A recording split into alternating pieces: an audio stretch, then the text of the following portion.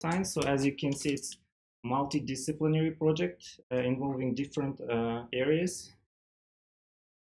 So, uh,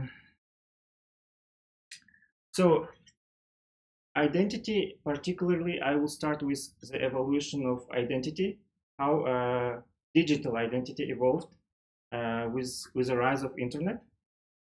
It's um, identity in the digital world is tricky, and it it doesn't have any uh, ideal solution for still. So it started with uh, centralized identity, uh, where administrative control was by a single authority or hierarchy. So as you know, uh, there was some organizations such as IANA, uh, which controlled I IP addresses, and ICANN, which is uh, which controls domain names, and we had certificate authorities uh, since 1995. So these certificate authorities uh, verify that you are the owner of that identity, basically, that you own that public key and so on. So these are more like centralized. If this organization fails, you'll uh, probably lose your identity, digital identity. And then we had federated identity. It's more, uh, um, so here, administrative control will be by multiple federated authorities. So the first example is Microsoft Passport, which was uh, created in 1999 uh, by Microsoft. So here uh, they they uh, constructed some federa federation of identity uh, organizations so you could use your identity in more widely uh, with multiple organizations within the multiple organizations, but still the central part here was the Microsoft itself. So basically, it's uh, it's still close to centralized identity. And we also had some uh, other examples as Liberty Alliance and so on. Um, as the time evolved and the technology evolved, we uh, researchers uh, think about more user-centric identities. So the user-centric identity is uh, when individual or administrative control uh, across multiple authorities without requiring a federation. So here users are at the center of the identity process. Uh, as an example, we had OpenID uh, from 2005, and it gives you um, some uh, some improvements like you can you can decide as a user what to share, which information to share, and it's also uh, you can use your identity in multiple websites, for instance. Uh, one good example was Facebook Connect, uh, which uh, which was created in 2008 by Facebook. So it's it has more a user-friendly interface. So basically, because of that, it attracted more users. And maybe you used it. Basically, uh, currently we have it, so you can um, uh, you can enter any website with uh, not any, but uh, for some websites you can use your Facebook uh, page as a login. But uh, the problem with user-centric identity is it's uh, it kind of gives you more privileges, but still uh, you are dependent on some organization. In case of Facebook Connect, it's still as a Facebook. So, for instance, if Facebook will be closed soon in the future, you will probably lose your identity, digital identity, your uh, in the internet. So the next, we need some uh, more more user-centric identity, uh, which could be self-sovereign identity. This concept is uh, is a new concept, and uh, people around the world, researchers are working on it, and it's here. Users are the rulers of their own identity. So basically, uh, users will have more control. They, they will control their identities, and they will decide whom to share it, and there was there will not be any uh, centralized authority uh, in this system. um, So it's lifetime portable digital identity for any person, organization, or thing that doesn't depend on any centralized authority.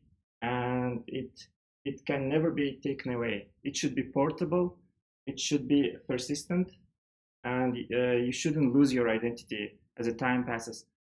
Yeah, so it has many. Uh, so this concept is still uh, didn't have exact definition, but from the literature, I can give you some insight about this concept. And if you are interested in it, you can search uh, internet and uh, learn more.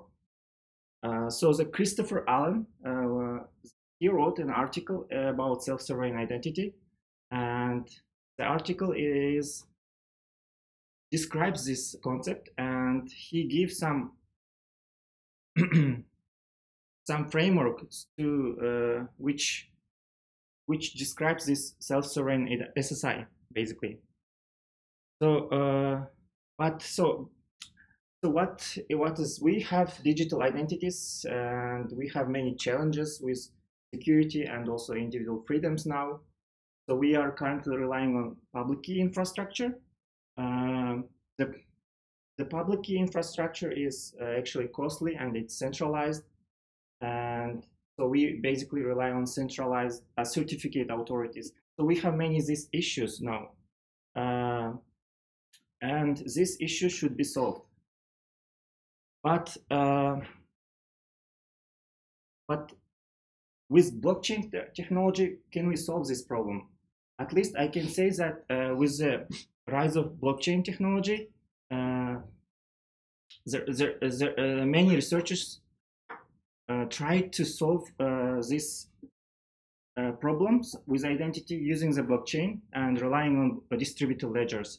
So it at least it gives some boost to the to the field. So many startups from the industry and the acad academy started to be interested in this after after uh, the uh, rise of rise of blockchain technology. So the blockchain, uh, as you know, is a decentralized root of trust uh, that nobody owns. It's immutable ledger, and so it so uh, so it could serve as a decentralized self-service register for pu public keys. One idea is so it will uh, transform centralized PKI to decentralized PKI. Uh, I will give you some example here. So it basically uh, we have key here public key infrastructure and we have decentralized PKI. So this public key infrastructure will rely on certificate authorities, which are, which are central uh, organizations that distribute their, the public key and verify who owns what and who is who. In case of decentralized PKI, uh, users will not rely in any um, centralized organization. Instead of that, the, the the root of trust will be blockchain. So blockchain will store uh, and connect public keys to private keys and so on. And there are some standards evolving now. Uh, one is decentralized identifiers. So uh, for blockchain to operate, uh, we need some sort of IDs which are persistent and which don't rely any centralized registry. So we need decentralized identifiers, which is called DIDs. It's a standard uh, developing, currently developing by uh, W3C. It's a worldwide web consortium. And I think it, uh, they almost finished their work uh, at the end of 2019. They had final draft and you can, uh, you can read about that uh, document. It isn't too long.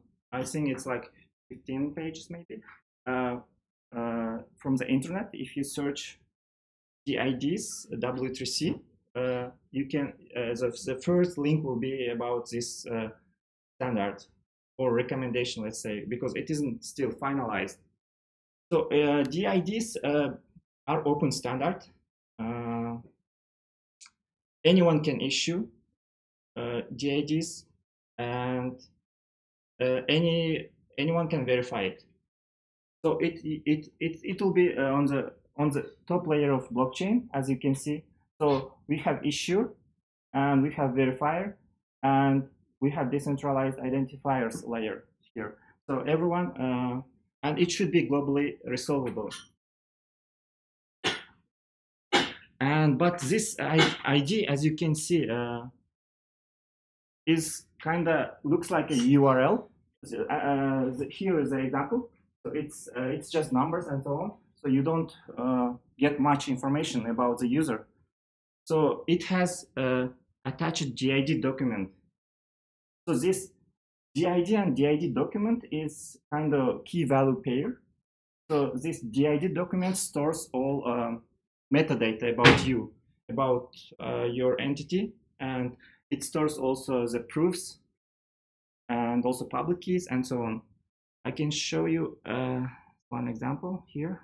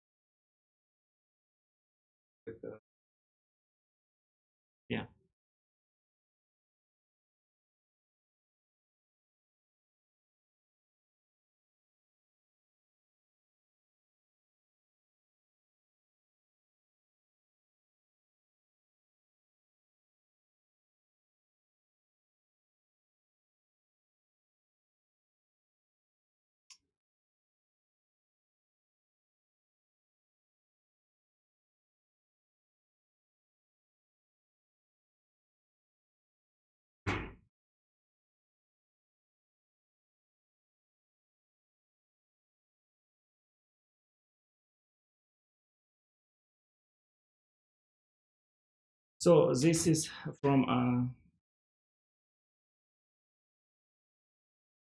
so this is decentralized identifiers um, web page uh, contains the document talking about.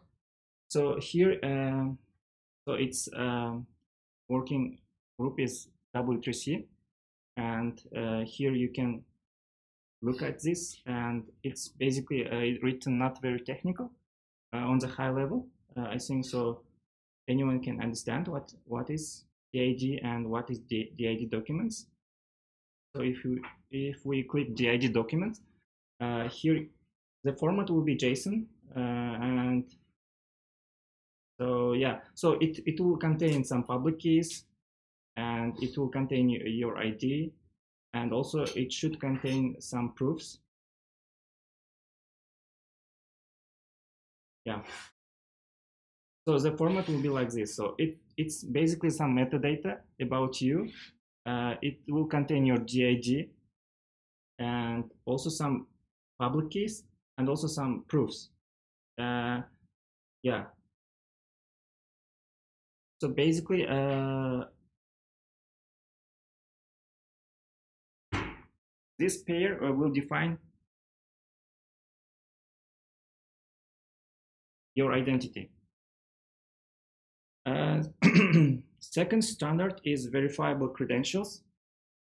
So here, uh, the credentials are uh, part of our daily lives.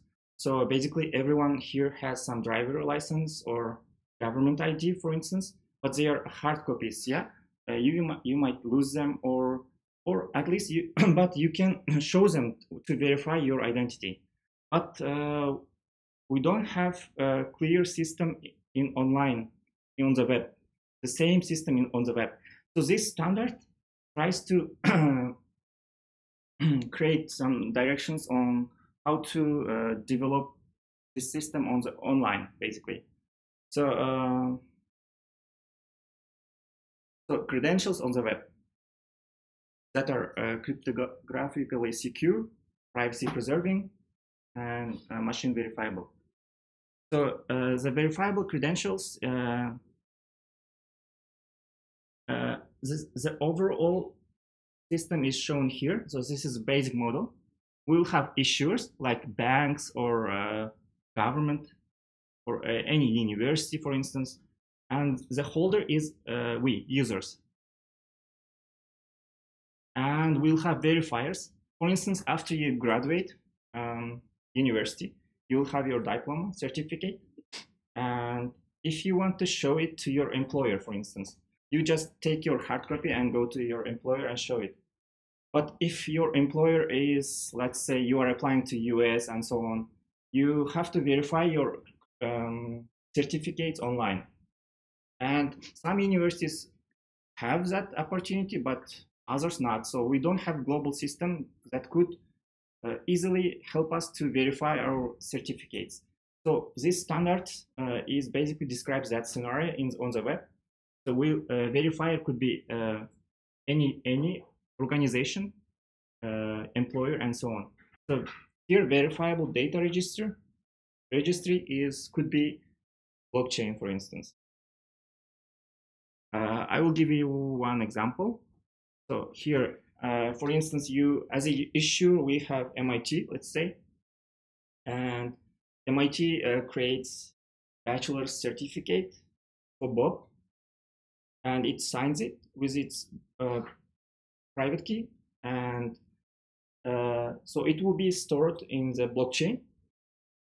So it will, certificate will be on the ledger, and Bob will uh, so it will be issued to the Bob to Bob, and he will he will he can share it with your uh, with his employer. Uh, uh, so employer is his here is the verifier, and verifier will just check it from the blockchain, uh, check signatures, and verifies that uh, that is the right person and the right organization which gives him the certificate. So uh, if we can implement it in user-friendly way, I think it would be good um, good system to use. So uh, for blockchain case, what kind of blockchain we can use here? It depends on. Uh, so it, we have yeah different blockchains. We have Bitcoin and Ethereum, which are public networks, largest public networks. Uh, we, uh, there are also some private blockchains like Hyperledger. So this uh, graph describes overall uh, like it could be public private. So public are Bitcoin and Ethereum. Anyone can read and write it to, to, to, the, uh, to the ledger. Private, only uh, allowed organizations can do that. So in case of Hyperledger, it's uh, more like for enterprises. So some enterprises will create some blockchain and only them can uh, see what's happening on the blockchain and uh, write on the, on the ledger. And this Sovrin is more, uh, for identity. So it's one initiative uh, by some people who uh, want to contribute on a field of uh, self-Sovrin identities. The sovereign, they are using a public blockchain, so any can, anyone can see it, but it's permissioned, which means not everyone can write on the ledger, so only uh, some some organizations which are verified could write on them on, on the blockchain. Uh, so basically, it depends uh, in the current system uh, for self-sovereign identity. For example, uh, everyone is choosing different blockchains. So, uh, so this, the overall field is uh, scattered. I mean, everyone is trying to approach the SSI. everyone is trying to contribute, but they are choosing different methodologies, or how, how to say so they are approaching the uh, question differently. So some are choosing public blockchain, some are private, some are uh, just using some distributed systems, not even blockchain. So yeah. Um, so in case of self-sovereign identity, it's uh, as I told you, it's a new field, and so this systematic literature review shows that for self-sovereign identity if we search for Google Scholar, first table, and second is for IEEE, IEEE Xplore, and third is web of knowledge. So it's it contains all uh, academic literature, papers, and so on. So as you can see, relevant articles are a few for uh, for each um, search. For SSI, SSI definition, self-sovereignty, we are getting less results. So it means basically it's a new field and uh, still it needs some contribution from researchers and so on. And if you are interested, you can search for it and try to contribute to this field because everyone is basically new and uh, we don't have we need um, many things to do, to be done basically so but we have some ssi systems currently which are proposed by uh, researchers and industry people so i will give you uh, some criteria the framework which uh, which is based on Christopher Allen's work and other literature, literature and it could help us to evaluate SSI systems basically. Um, so let's go through it together. The first one is user control and consent. So in SSI system, uh, let's say users must control their identities. So they should decide uh, what personal data uh, they will share and to whom. Uh, second is privacy and protection. So uh, so they uh, it's very close to the first one. So the privacy of users should be protected. They they, should have some disclosure uh, disclosure uh, minimized disclosure, and identity owner governs how data is collected, shared, and used. Third is uh, third uh, criteria is no trust in central authority. Basically, yeah, uh, there shouldn't be um, any singular third party that controls whole system. should be distributed, decentralized. Fourth is portability. Portability means that you can transport your information easily to another place uh, in the web, on the web. So you shouldn't lose it because it's dependent on one database or dependent on one one system and so on. So it should be portable. So fifth criteria is transparency. By transparency, we don't mean that all your information should be transparent. Here, uh, more like systems and protocols must be transparent. So um, it, it could be open source, should be well known, and independent architecture. So uh, currently we have some open source projects and so it's a good example of how should things to be done for like public. And for identity, I, I believe that uh, the system and protocol should be transparent. Everyone can see and verify that uh, everything is okay. Six is interoperability. So uh, we did we need global identities. So every person should be able to use uh, his online uh, identity and verify his identity uh, everywhere in the world. So it it seems to be ideal, but uh, yeah, I believe so. We identity should be as widely usable as possible. In currently we for our online identities, we even cannot use one online identity, digital identity in another website. So you have, for instance, one for every website you need to create login and password every time and it uh, irritates you. I mean you, you can forget your your passwords and so on. Uh, so it's it's very fragmented and not user friendly actually. So uh, i'm really struggling about that because for me like i think i have like 100 login and passwords and like for different websites and some of them are forgotten already, and it isn't very uh, user friendly and not practical at all. Um, in case of like driving license, for instance, uh, in Norway, currently you can verify your driving license online by application, but I think it's it's working only in Norway. You cannot even uh, verify online your driving license in Sweden or any other uh, countries. In Africa, uh, totally, yeah, you cannot do that. So for such kind of things, we need um, to develop these SSI systems more. Uh, seventh criteria is persistence. So basically, identities must be long-lived. So um, as a when the organization fails, like when Facebook fails, you you you lose your identity, but uh, you shouldn't lose. You, you must uh, the identity you have must be long-lived. But uh, um, but still you have you should have right to be forgotten. So it's uh, it's from GDPR, and so basically every user, if he wants to delete all his data, personal data online, he should be able to do that. And the last one I think is usability. So as I told, even though our systems will be cryptographically secure and so it will the protocols will be uh, really good, but still the user friendly. We need some user friendliness.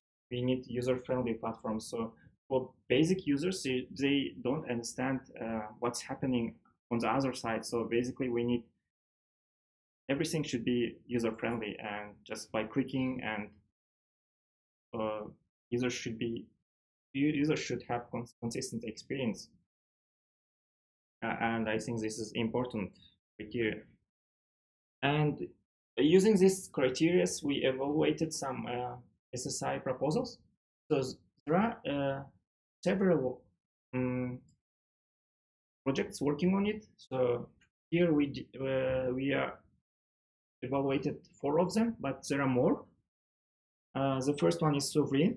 Uh, second is uPort. Sovrin is working. Uh, it's kind of based on web of, web of trust. So they, they have multiple organizations uh, and they are based on um,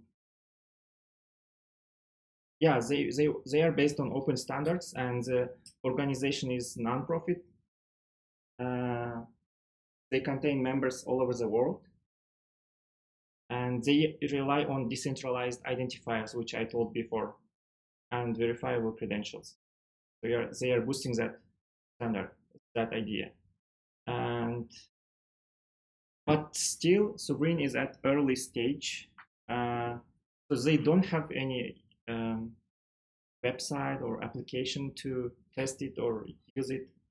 So for users, they uh, they didn't consider how users will interact with So they are more focused on on the background, how uh, identity should be verified securely, private, uh, privacy should be protected, and so on. So there are lots of work to do. Uh, in, in, case of uPort, this uPort uh, is based on Ethereum, so, uh, and there is no central authority here.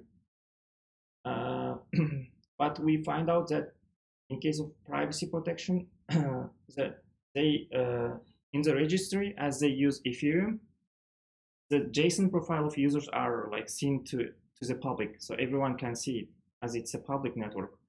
Uh, so it's it isn't um, if we consider in terms of privacy, it isn't good for users because you are showing some of your data to everyone. Uh, yeah, but it, it, it can be solved, of course. Uh, so they have their applications. Uh, I tried them and yeah, they aren't very like user friendly as Facebook or any uh, like application, but still they have it. They are they have QR code scanning feature, and they are trying to work on giving some user uh, consistent user experience. Uh, the third one is Civic. Um, so uh, the Civic is similar to Sovrin, so they they they they are like open ecosystem of uh, validators, like or some organizations, let's say, who uh, validate the network, and they uh, they are based on public permissionless blockchain, open source. And the last one is ShoCard. Uh, in case of ShoCard, uh, we find out that they still have some central servers that act as intermediary when the data is transferred. So we cannot say that there is no trust in central authority. So this criteria is, they fail in this criteria, for instance. And I think it's the most valuable one. Um, and this ShoCard is like for-profit organization, so basically uh, identity system is on the hands of some for-profit organization, and they are still at the early stage. So this um, mm, this this is a result of our analytical study. Uh, as you can see, uh, all these proposed systems uh, doesn't um, yeah comply with specific requirements that we proposed and so yeah in conclusion so what do I want to say uh, we don't have uh, systems which um, so we don't have self-sovereign identity system yet. So it's are uh, the, the, projects and proposals are still on early stage and they are developing. Uh, and blockchain might be the most practical implementation for SSI. Uh, yeah, at least it it gave some boost for the field. And yeah, but as I told before, um, this field is like fragmented. Uh, we have different projects which approach uh, approach a problem differently. So we need to develop a standard for everyone, and we need some interoperable systems that are more connected. Uh, and the, and lastly, the important issue is that is the user experience. So many projects still didn't didn't provide some user-friendly interface or didn't consider using user inter interaction with the system. But for even though we will have some technologically developed SSI schemes, we still, uh, without some user-friendly uh, experience, they will not get widespread use. Sure. Yeah. Uh, so the, I had some references. Uh, I think I will upload this uh, file, I mean this presentation to wiki so you can just see and check the references and you can read about this um, standards. And if you are interested yeah you can contact us. Uh, so as I told this field is new and everyone is new and we need some contributions. Yeah. That's basically it. Yeah if you have any questions. Yeah. Yeah. Very nice. Yeah. I'm worried. Calls in over easier for my worried and from security how how hard is it? Uh, yeah, in computer science. Yeah. Um, for example, I like the idea, but I'm worried about. Yeah, I see. From security perspective, it's really hard to develop such system. Yeah, and security is one of the important aspects to consider. Even though we declared some uh, properties, uh, so uh, people should have uh, the system should be secure. Yeah, I agree with that. Should be uh, connected to some hardware or yeah, it's like uh, you will have your wallet, let's say, like your application, and your data will be stored uh, in your mobile. For instance, one, example, yeah. So you have, but uh, the system, uh, the problem is like you can lose your mobile phone, for instance. In that case, uh, that identity wallet should be revocable. I mean, you should be able to, yeah, get it back. But that's a problem also. I mean, so yeah, we have many problems still. Yeah, so identity theft is kind of an orthogonal problem to, to the self-sovereign identity system. So you have it with the normal systems and you have it here as well. And it just follows the normal ways of dealing with security. So how, like when you log into a bank using kind of a federated or centralized identities, how do you make sure that nobody can steal it? kind of the same here. It's, it's not no difference. Um, the difference is that with self-sovereign, for example, an authority cannot impersonate you. So let's say you are a criminal and um, Norwegian government wants to log into your bank account. So they ask the bank, can we get your credentials? And they will get your credentials, then they will log in as you, right? With self-sovereign system, because they can't do that, they can't pretend that they are you. There is no kind of backdoor. There is no way for somebody to pretend to be you because you kind of host your own identity yourself. Um, so it, in, in some ways, like identity theft is easier with centralized systems because if they are hacked, then people can steal your identity. But here it's kind of, um, you know, you, you don't have the central authority to be targeted. Uh, everybody is kind of individual. Yeah, but if you get hacked, you will still lose. If you get hacked, you will lose your identity. That's right. Yeah, so it basically you control it yourself. Yeah. So there are some mechanisms like you know you need to use something that only you have, something that only you know, or whatever, like whatever the, the you know stages for securing access is, right? Yeah, but uh, it could be like solved. I think. I mean, you can propose some systems to make it like it will you will not store everything in your mobile and so on. I mean, there, there, there, there could be any different approaches. Worst case scenario will be scary. Like, example, I example, people are own the house is this blockchain technology, and they, they, they might have some cryptocurrency and everything. Somebody steals it, you are broke. Like, Yeah, You are responsible. yeah, you are responsible.